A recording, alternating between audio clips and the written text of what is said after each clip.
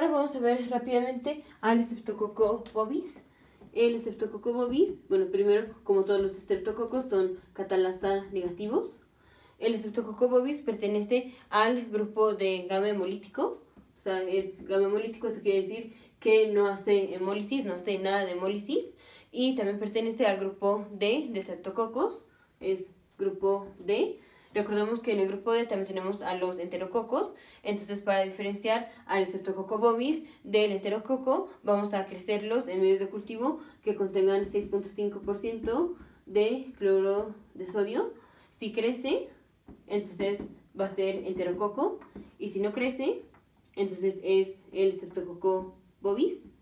Lo más importante del Streptococcus bovis es que se asocia con los pacientes, o bueno, produce endocarditis bacteriana, pero en los pacientes que tienen cáncer de colon, entonces, primero siempre que un paciente tenga cáncer de colon, hay que, bueno, primero hay que ver si no tiene endocarditis bacteriana o hay que hacer un screening para ver que no tenga endocarditis bacteriana. Y si tiene endocarditis bacteriana, la causa más común va a ser el estreptococo, estreptococo bovis.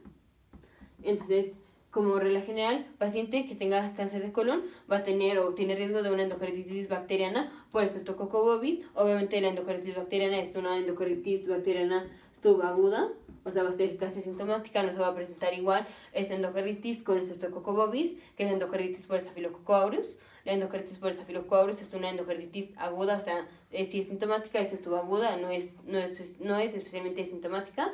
Pero bueno, como regla general, los pacientes que tengan cáncer de colon pueden tener riesgo de Streptococcus bovis, de una endocarditis por Streptococcus bovis, o hacemos el converso, todo paciente que tenga una endocarditis bacteriana con Streptococcus bovis vamos a pensar que tiene cáncer de colon hasta demostrar que no tiene. Entonces, si tenemos, o si en un caso clínico, tenemos un paciente que tiene una endocarditis bacteriana, o sea, viene con fiebre, viene con hemorragia retinal, viene con los nódulos de Osler o de James y viene con, mm, con hipertensión, con fiebre, o sea, con todos los síntomas de la endocarditis bacteriana que está en la sección de cardiología, los síntomas venía un paciente con, con síntomas de endocarditis bacteriana y nos dicen que en el cultivo crecieron Streptococcus bovis.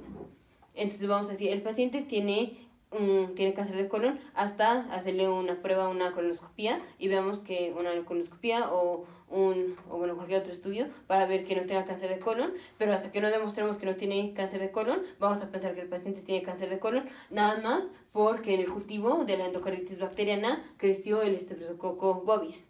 Te vemos en el siguiente video.